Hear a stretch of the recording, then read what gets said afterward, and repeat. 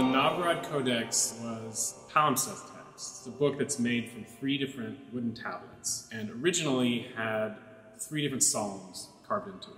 And then in the Middle Ages, this monk wrote dozens of times over these psalms. You have layers of text superimposed on top of one another. These visions of the apocalypse, bitter, caustic sermons that he gave, and the alphabet of the language in this book.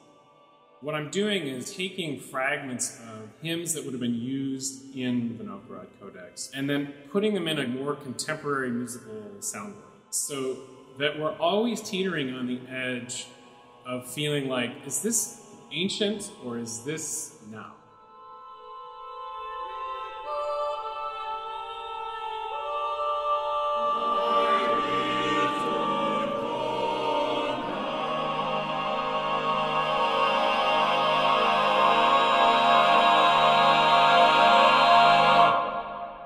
Things that's exciting about this piece is it was clear that all the levels of listening that you need to have a really good relationship between a composer and, and an ensemble were activated in the It really energized us in a lot of interesting ways because he took the source material and he extracted the essence of the kind of feeling to create a whole new world. And yet somewhere there's this origin, there's religion, and you know sacredness and truth and someone trying to hold on to their own you know integrity.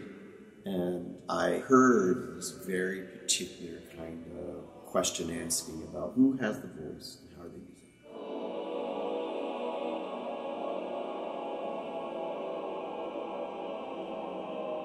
Here was someone at the dawn of a millennium who was desperately trying to hold on to the traditions of his people, and at the same time move them into a future that he couldn't predict. There's something about the way that this moment is like that.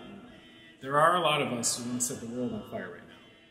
How do we move on and just be people rather than symbols of something that is never going to be resolved?